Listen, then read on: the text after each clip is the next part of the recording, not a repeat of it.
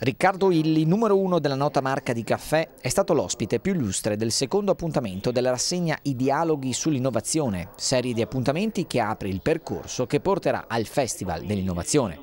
Ricerca, sviluppo e innovazione sono tre delle parole chiave per il futuro dell'Alto Adige, temi considerati prioritari per i prossimi anni dalla Giunta provinciale.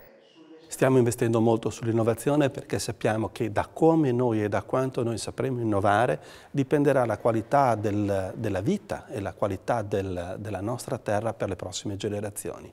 L'innovazione è la strada giusta per garantire ai nostri giovani un futuro che sia almeno all'altezza di quello che stiamo vivendo in questo momento.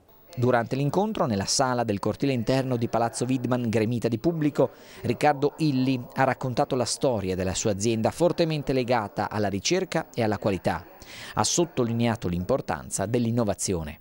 Anzitutto essere consapevole che innovare è non necessario ma indispensabile oggi e questo mi pare sia già avvenuto. E poi deve trovare campi, dei campi nei quali può veramente eccellere, cioè innovare meglio di chiunque altro possibilmente e sono convinto che anche questo sia possibile partendo da un vantaggio competitivo importante che è il fatto di avere più culture, più lingue parlate su questo territorio, ciò che rende la creatività più facile.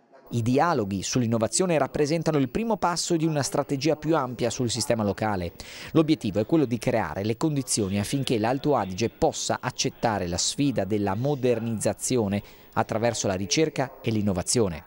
Le piccole e medie imprese altoatesine devono avere gli strumenti necessari. Il primo consiglio è di essere curiosi, di andare in altri paesi, di visitare la clientela, di visitare le fiere, di capire quali possono essere le necessità dei clienti attuali o di quelli potenziali ancora non soddisfatte da altri.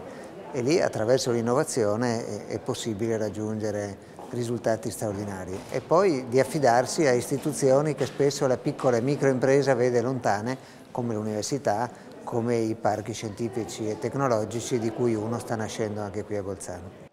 Il futuro parco tecnologico di Bolzano, secondo Riccardo Illi, è un passo necessario per garantire competitività a livello nazionale ed internazionale.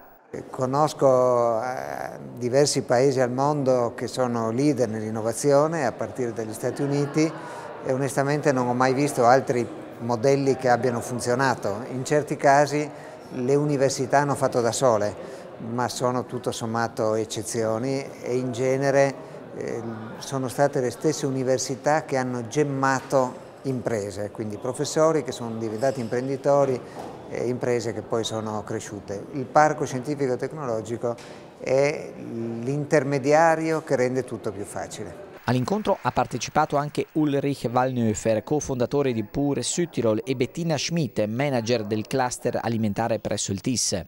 Prossimo appuntamento con i dialoghi sull'innovazione, mercoledì 26 ottobre a Merano con l'arte di innovare. Tutte le informazioni sono comunque a disposizione su internet all'indirizzo www.innovation-now.it.